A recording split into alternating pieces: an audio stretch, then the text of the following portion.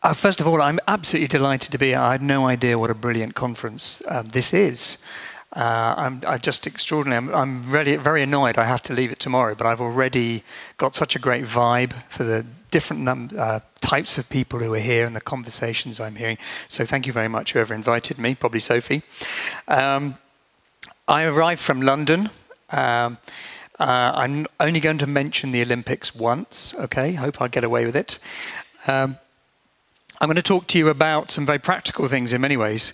Uh, as you'll see, my job is to kind of try and create the future now in quite a practical way and design what these future digital experiences are going to be like.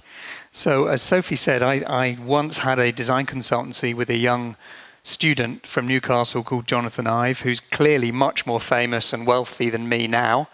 And uh, he still rings me up every six months and tells me he's had tea with Bono or somebody. Um, thanks, John. And, uh, but initially, as a product designer, I was designing things like Apple portable computers and a very overexpensive hi-fi. And I was head of design at Samsung in Europe, where we were creating very physical things that were increasingly using technology. I then got a fetish for working with people who had square logos seemed to like that quite a lot. And uh, it was at Orange that I started becoming um, I think it was a mistake. I don't think they realized I wasn't really a user interface designer, but I started to meet technology. And the first um, the first product I was given at Orange, actually, when I joined, was this wonderful phone uh, that had an internet browser, um, open system to allow applications to be developed, uh, email, text. You know, sound familiar? Uh, and this was about 10 years ago. Um, the first thing I noticed was it was impossible to use. It took me, I refused to read the manual, and it took me two weeks to actually make a phone call on it properly. Um, it was uh, meant to be about uh, the web, the screen was tiny, it was cluttered with, with little text, and it was all about business, business speak. Um, it was ugly. It was just really ugly. And the keypad was really difficult to use. You couldn't see what was on the keys. I realized there was a problem with this technology. We could do amazing things with it, but if it wasn't well designed, if it wasn't designed with an empathy for the people who would actually use it, it was useless. Uh, and this was a very troubling thing. So I also found out at Orange that they had a fantastic brand, and as many brands, they're very, very good at communicating their their core DNA. And uh, you know, they could describe that this phone had email in the palm of my hand, and that was a lovely description. But converting it into reality was somewhat different. And whether it was email or many other wonderful applications that Orange and France Telecom developed, sorry if there's anybody from Orange or France Telecom here. Um, it generally followed that I was asked or told, here is an amazing piece of technology we have developed which will help people do things we confidently predict they always wanted to do, and now they'll do it all the time. Uh, we've made all the important decisions, worked out how to work, chosen the suppliers and developers, and built a fully working prototype at great expense. Now you've got two weeks to design it, uh, or we will be late and it will be your fault, my fault. Thanks, guys. That's a great brief. Um, and I realized when they said design, you know, actually the design had already happened. I wasn't doing the design, I was putting the logo on or something and playing with the font. And I realized there was a real big problem here with the definition of design in technology. And to be honest, it's only got a little bit better. Um, but why do I say design is important? Because people's perception of design is usually, uh, certainly is in the UK, and maybe here, um, that the physical, it's about beauty, and here's you know, one of Jonathan Ive's loveliest pieces of work. Um, and so it's something to do with making something beautiful. Design can be very contentious. There's the one mention of the Olympics right there. Um, this logo was very, very unpopular when it was first launched. Everybody hated it, couldn't see any symbolism in it. Um, you know, as the event itself has gone on, it's become deeply loved. Uh, and so people's reactions to pieces of design can be very emotional and they change. Information design, a little bit on the lines of some of Sophie's uh, uh, examples, the, the signage at Dusseldorf Airport was so bad people didn't know how to get out when the fire happened and lots of people died. Creating clear, wonderful signage, we can understand why design is relevant and appropriate to that. And then, of course, we meet designers who tend to be rather difficult, egotistical people who insist on the world being cast in their vision, like Philippe Starck will sprinkle his magic dust on a train or an orange juicer or whatever it might be, you know, and just trust me, I'll make it beautiful. I'm not sure that's the kind of design I uh, agree with or encourage, or I'm really talking about here. But back to my friend Jonathan and his marvelous uh, evangelist leader, of course, when you do combine design and technology, and I do think this is a marvelous combination of design and technology, all the same functionality that I had on my terrible orange phone suddenly becomes usable, suddenly becomes joyous, almost magical. Um, and you go from internet, mobile internet usage the day before the iPhone was launched was 18% of mobile users who could access the internet did it once a month. The day after, 98% of iPhone users access the internet every day. And of course, we know now that it's just constantly being accessed. So they unlocked a complete market, a complete success story, a complete business success story um, by a successful combination of design and technology. And of course, what we also need to understand, it's not just an object. That object is just a little part of an ecosystem of a total customer experience. And I increasingly find myself find myself designing not just the piece of technology, but the whole journey that gets to it or it is part of more often. So with Apple, we have apps, we have iTunes services, of course, and we have shops, shops that do not behave like shops behave normally. You know, they are they are completely different experiences. So that design thinking totally changed. So what on earth am I doing at Cisco who make these things? They make things in racks that blink, and engineers get very excited when they see them. It's a little worrying. And um, you know, why on earth would I take my wonderful second best designer in the world after Jonathan Ive skills to a company like Cisco. Um, well, the interesting thing about Cisco is they develop the applications that sit on that technology. For those of you who don't know, Cisco makes the kind of nuts and bolts of the internet. So it's not very sexy. But on the other hand, what you can do with the internet when it's fast and accessible and all those things, suddenly you have amazing video conferencing. Um, when I take people into this telepresence video conferencing, people have a life-changing experience. There is a legend, I think possibly untrue, that when uh, George Bush Jr. Um, met John Chambers, our CEO, at the end of the conversation over telepresence. He tried to shake hands with him. I'm sure it's just a joke, but.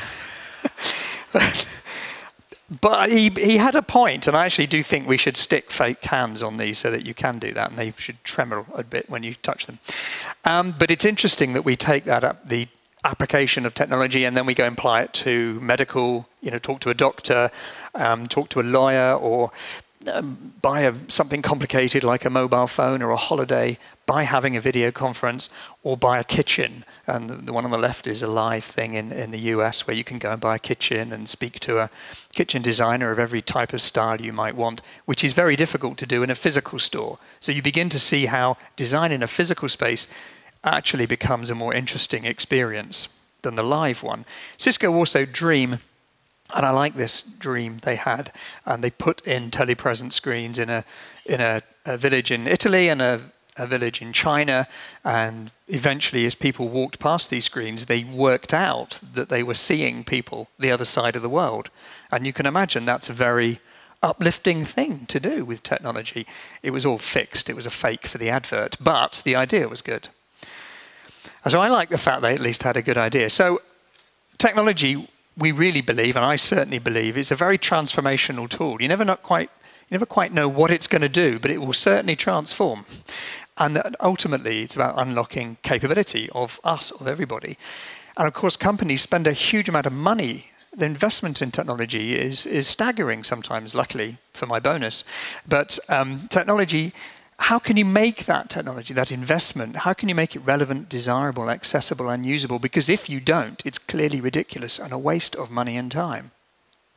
So what we try and do, what I do, um, is I work with the customers of Cisco. We try and create those transform, transformative technology experiences, but we design them. So when Caesar's Palace in Las Vegas um, wanted to do something interesting with technology, I obviously volunteered for the job, and uh, and went out there And they wanted, very often our, our clients simply have some technology and they just want to use it. They wanted to use RFID tags and they had tried it in their topless bars in Las Vegas. So that when you're at the pool, the topless pool, I hadn't been there, I didn't do the user research, okay, um, then uh, you could pay for your drinks with a little bracelet. Sounds a great idea. After a week, they found out that nobody was using it. And the reality was that the waitresses were telling the, the punters, the customers, that it didn't work because with the tags, they didn't get any tips. When it was cash, they were getting um, $500 bills, well, not down their front because they didn't have one on, but down their pants or something. And, uh, and suddenly the whole, their whole life changed by this bit of technology. And that hadn't been predicted, hadn't been understood. And I love it when technology fails for that reason. But that's why we need to understand how people really are. What we did end up doing in Caesar's Palace was convert all their, um, their basically they're posters sites into displays. We put on RFID, and your room key had an RFID sticker, so it knew where your room was. You could touch it in, find out where your room was, where you wanted to go. It also knew, because Caesar's Palace is very clever and cunning in understanding their customers. They would know whether you were on a bachelor's party, uh, stag night, I mean, um, or whether you were here on your 50th wedding anniversary and advise you to go to the Pussycat Club or whatever it might be, or not. Make sure they get that right. So they were able to give a very personalized digital experience. Um, that normally they lost contact with their customers the minute they actually arrived at their resort. So we were using technology to keep that relationship going. Another concept we created was a very clear vision. Wouldn't it be great if you had a cafe with that kind of digital video, high quality video, and you could talk to somebody the other side of the world in a cafe, and young people could talk to somebody uh, in another part of the world and try and overcome their, their their prejudices and, and just become more educated with their points of view. So Cisco were, were sure this was a fantastic idea. As a test, they put in their lovely telepresence screens into uh, an art college, Central St. Martin's, my old art college in London, where the students immediately complained uh, of surveillance. They felt they were being watched. Cisco were very upset about this. No, no, no, you know, it's just, just about communication. And then the students said, but this is ugly. This is designed for a business. So they, they hid it with, with, with wood so that it was just a hole for the screen itself. And then they um, configured a whole load of games where people on the each side of the, the two screens that were put in had to learn something about the people on the other side, and every time they did that, they would receive a free drink. So it was a game designed to slowly collapse uh, as, as they went on learning more and more about each other. But also, they found that using it for themes like Valentine's Days was great. You suddenly got a reason to communicate, and then the technology worked. But simply putting the technology into the space failed completely. I love that again. So we could then design um, in the more conventional sense, a beautiful and flexible installation that allowed you to be very private or allowed you to be quite public and have a group of people talking to somebody in, I don't know, Libya um, or South America. Obama calls this Kansas to Cairo because you can have groups of people uh, in a controlled way talking and learning about each other. Very often we, we look at new technology that looks very exciting. This is a magic mirror uh, you can put, you stand in front of this thing. It is gesture. It's the world's first sensible use of gesture, Sophie. Um, because it's like a fashion mirror, you have to be away from it. And you wave at it, and different clothes come through. The whole store's clothes, if you like. You find something you want, or you can compile an outfit, and then you try it on, and it puts it on you. It locates all your shoulders, and, and you can see yourself in this dress but it was a horrendous piece of design. It was unusable. And ergonomically, it did all the things that Sophie warned us about gesture. You did get tired, and it was very difficult to use. So we brought in design teams, we created a generic version. Uh, and learnt from that. It's a very learning experience to design technology. Um, and then eventually found a live client uh, where we perfected that user interface that was absolutely critical Now, this technology costs a lot of money. Everyone was paying a lot of money. We could not get a budget for design. We eventually found a very small budget for design. If we hadn't had a design budget, this whole technology would have failed. This pilot would have failed. And I'm constantly amazed how people will go so far and then forget to make sure that things are actually designed because that will be the thing that makes a difference. I'm glad to say six weeks of this and it was a huge success. They sold a lot more dresses. They're desperate to have it back. Phew. Um, a couple of other examples, a bit slightly different.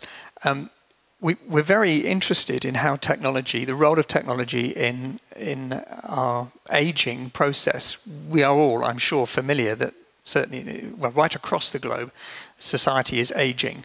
What do we do with people when they, when they live longer? How do we help us look after ourselves more? Um, we worked with a town in Holland to understand how technology could help us age better. Uh, and the first thing I did was Google all the people in that town who are over a certain age, because nobody in the team in this town, Almere in Holland, had actually got in their mind the people they were designing their services, designing this technology for. And we quickly found, you know, a bit of a dope fiend up there in the hat. Um, the guy next to him, that's a dating agency. You know, he's well into his 70s, but he's still hot. Um, the guy in the middle is laughing, not dying. Um, and some people using technology with the Wii. You know, there's some great stuff there, all class, some people protesting. Um, and it made them realize, and you might not think this is design, but it's about starting with people, starting with the people who will use your services. And this was very important to them. So important that they completely changed their town planning process. And they now have personas of people, their own citizens, in their offices on the walls to make to remind them who they're actually designing for. In this case, we just put some video screens again in.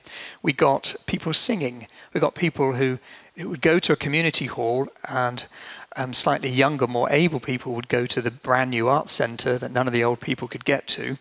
And they had one crazy conductor who taught both choirs from the same place, and they started singing to each other. Then they started singing to people the other side of the world, and it became a very emotional thing actually. And people who had been bedridden or house-ridden for months got out and engaged again in their community. So sometimes the benefits. I liked there was an earlier talk this morning. They talked about uh, how do you measure something, and I'm always being asked how do you measure things. It was difficult to measure this, but there was a lot of happiness, and people were doing things differently. You could see that was happening. We went on with the aging project to look at wisdom, because as you get older, you obviously have life experience, we have knowledge, we have skills. Um, amazingly, people in the UK and, and all over Europe are retiring at 50 55 with a huge amount of knowledge and they just go and play golf or, or, or, something. Trying to harness that knowledge, trying to mentor younger people, mentor older people, use the web as a platform for knowledge exchange was something we were very interested in.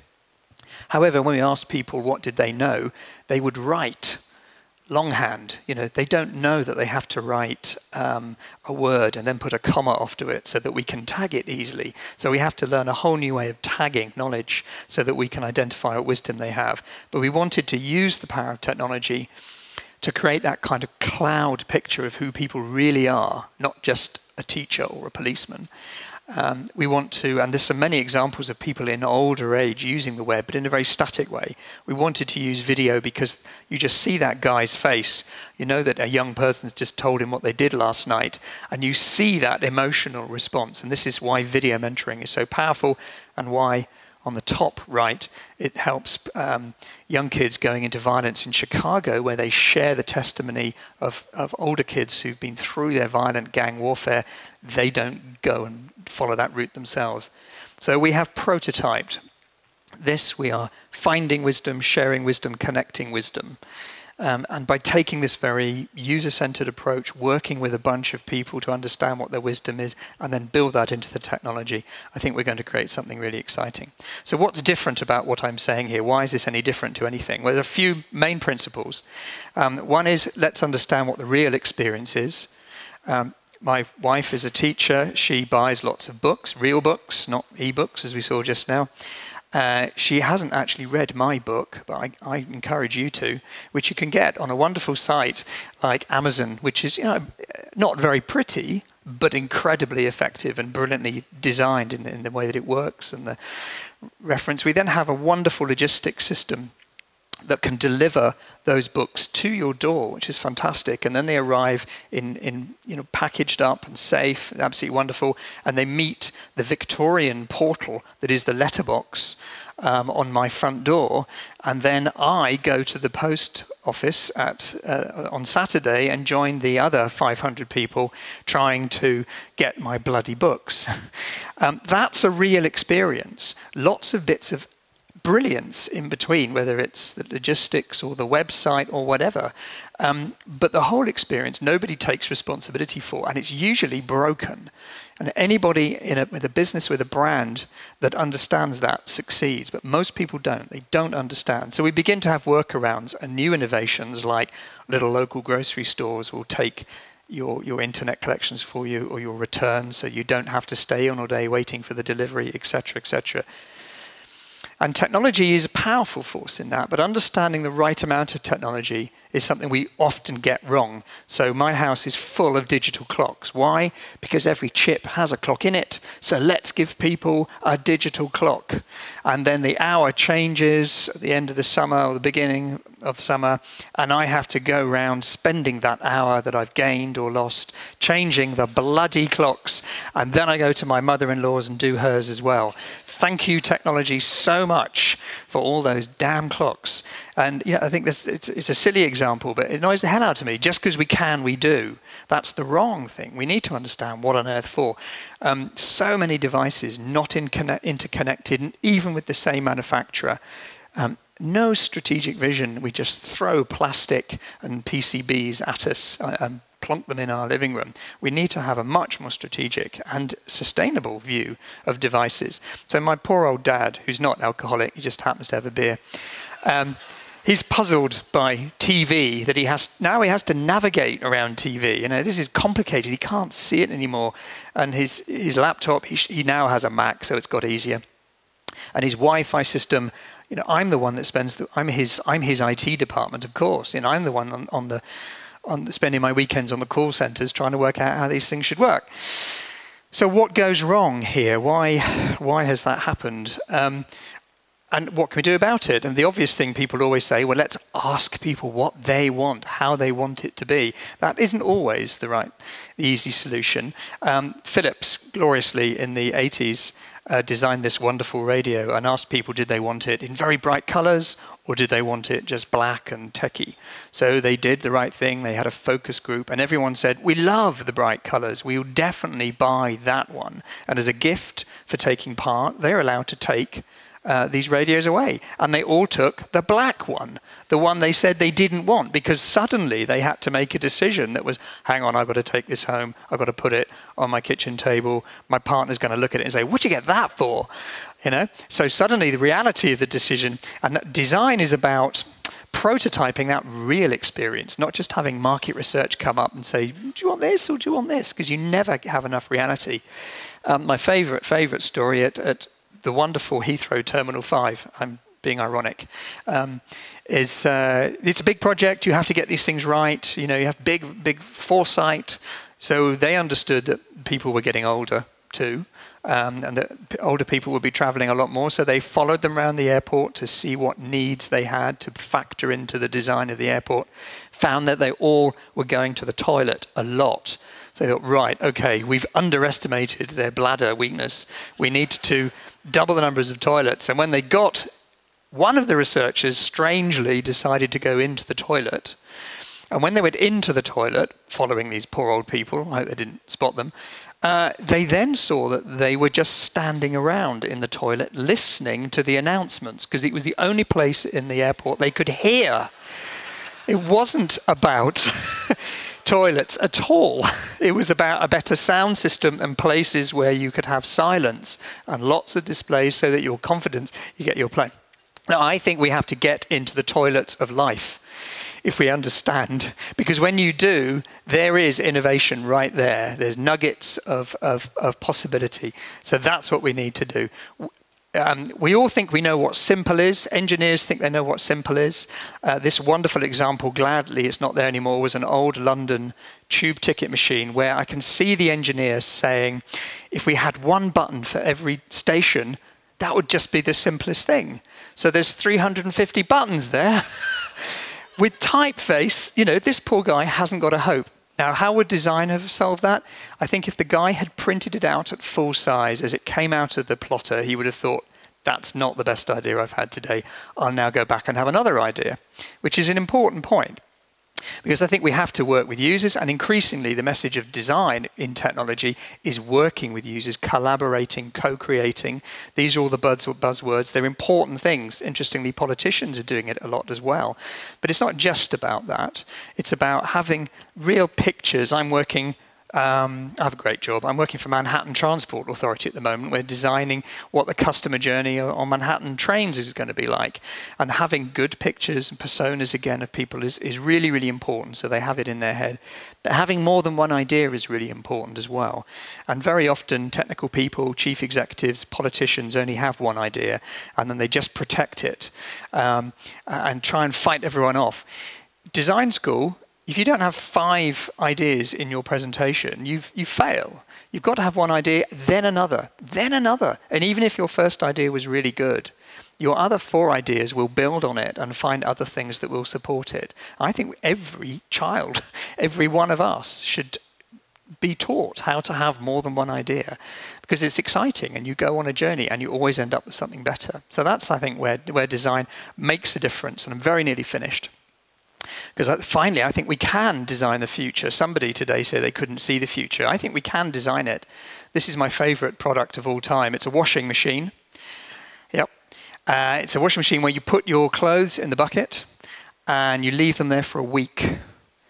And the natural process of the plants uh, the water goes through the washing, and during that week, your clothes become clean through a completely natural process, right? And everyone says, "Oh, don't be ridiculous. That's a nice idea, but I wouldn't, I couldn't put up with a week." But the company that did this also did the research on the length of time your garments are in their laundry basket, and the average length of time is one week.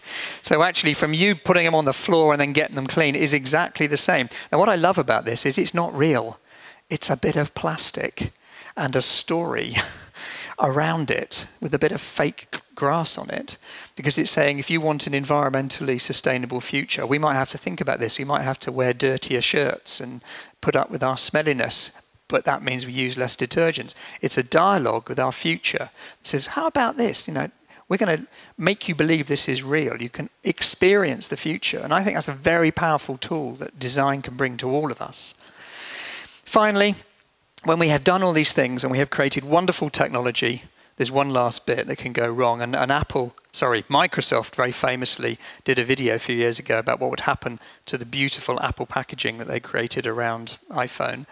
Um, if, if Microsoft had done it, 25 marketing people would have come up with, with their input on it and, and they would have been incentivized to say, ah, this is not expressively human, we must add the price rebate till you get this just horrendous iPod 2000, you know, $40 rebate, this is an empty box, a nightmare of packaging because they've been incentivized. I think managers should be incentivized to shut up and hold the vision.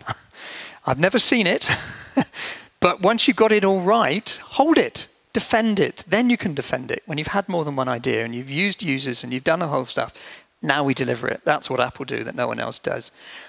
Design is not an option. We do it all the time. We just do it unconsciously or poorly.